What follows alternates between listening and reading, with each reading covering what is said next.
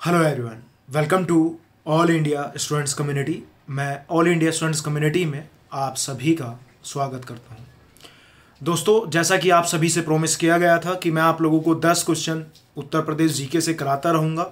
तो हर दूसरे तीसरे दिन आप लोगों के लिए वीडियो आता रहेगा। आज की इस वीडियो के अंदर भी उत्तर प्रदेश एग्ज़ाम में, उत्तर प्रदेश से पूछे गए कुछ सवालों को हम डिस्कस करने वाले हैं। तो चलो शुरू करते हैं। पहले क्वेश्चन से और आज का हमारा जो पहला क्वेश्चन है, वो है जनरत नाम दिया गया है। ये जनरत क्या है? ये आपसे पूछा गया। पहला, उत्तर प्रदेश में ग्रामीण संचार को बढ़ावा देने के लिए था।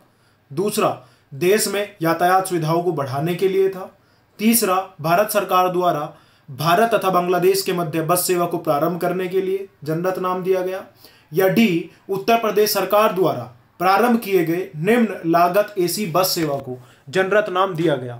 तो देखते हैं कितने लोग सही जवाब दे पाते हैं। कमेंट करके अपना आंसर दें कि आप क्या सोच रहे हैं। क्या होना चाहिए इसका जवाब? जनरथ क्या है? तो दरअसल मैं आपको बता दूँ, आपने नाम सुना होगा गरीब रथ। गरीब रथ जो है, ये एक रेल सेवा थी, जिसको आप जानते ही होंगे, भली भांति परिचित होंगे, जो पूर्व रेल मंत्री रहे हैं, लालू प्रसाद यादव। उन्होंने गरीब रथ रेल सेवा को स्टार्ट किया था। उसी की तर्ज पर उस समय मुख्यमंत्री थे। कौन? बिल्कुल सही पहचाना।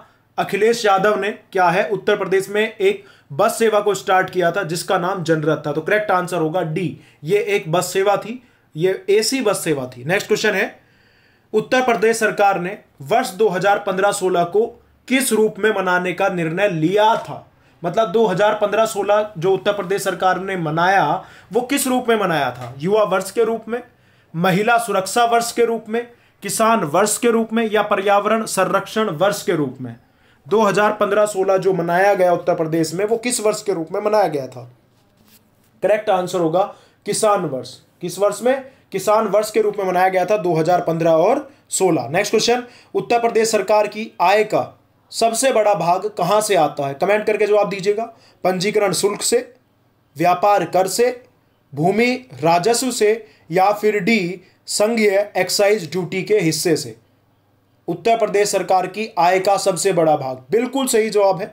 जिन लोगों ने कमेंट किया है सी उनका बिल्कुल गलत जवाब है। करेक्ट आंसर व्यापार कर है। व्यापार कर से आता है। किससे? व्यापार कर से। उत्तर प्रदेश सरकार की आय का सबसे बड़ा भाग आता है व्यापार कर से। तो करेक्ट आंसर होगा B B is the correct answer next question Uttar Pradesh में नॉलेज पार्क की स्थापना कहाँ पर की गई थी? कहाँ पर की गई थी? नॉलेज पार्क की स्थापना वाराणसी में, नोएडा में, लखनऊ में या ग्रेटर नोएडा में? तो हमारा इसका जो करेक्ट आंसर होगा, वो होगा कहाँ पर हुई थी? बिल्कुल सही जवाब है ग्रेटर नोएडा में।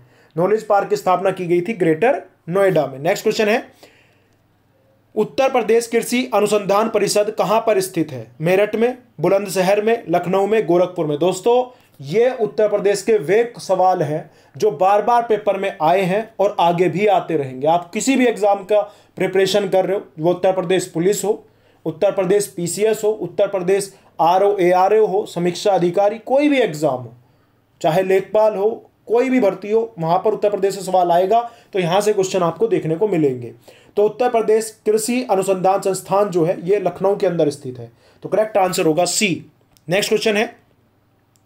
और नेक्स्ट क्वेश्चन पर जाने से पहले आप लोग पीडीएफ वगैरह डाउनलोड करने के लिए और स्टडी मटेरियल के लिए हमें इंस्टाग्राम और टेलीग्राम पर ज्वाइन कर सकते हैं।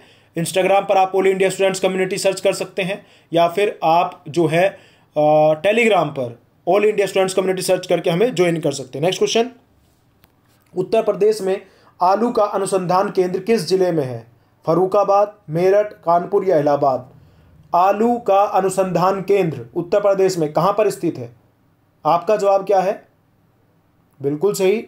मोदीपुरम मेरठ में। बिल्कुल सही जवाब है। मोदीपुरम मेरठ में स्थित है आलू का अनुसंधान केंद्र। बहुत बढ़िया। नेक्स्ट क्वेश्चन उत्तर प्रदेश में कृषि उत्पादन बढ़ाने में कौन सा कारक सबसे अधिक प्रभावी है? उन्नत किस्म के बीजों को बढ़ता प्रयोग, कृषि सेवा केंद्रों का विकास, कृषि साख सुविधा या किसान क्रेडिट कार्ड योजना?